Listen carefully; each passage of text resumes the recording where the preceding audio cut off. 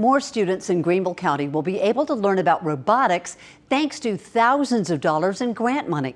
As Gabrielle Komorowski shows us, these students are learning skills for competitions and for a lifetime.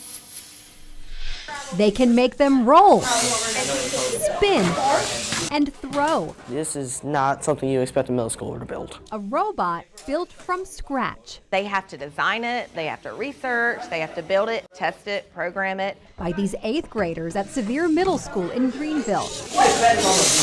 This is class time. I like being able to like build and drive. It's different than what we do like in our other classes. Just being able to play, have fun. It's the most fun part of my day for school.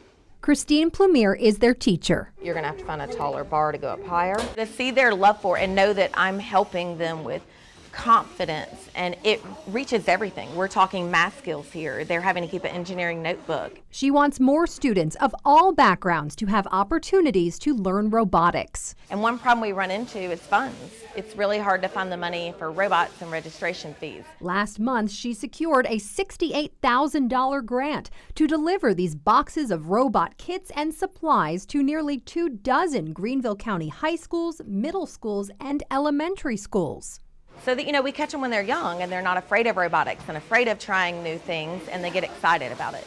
The robotics students learn teamwork and travel for competitions, having fun, building self-esteem. I'm pretty proud of what we did so far. And when that happens, it's really exciting and like fun to know that you did something that works really well. The community wins. Big accomplishment. In Greenville, Gabrielle Komorowski, WYFF News 4.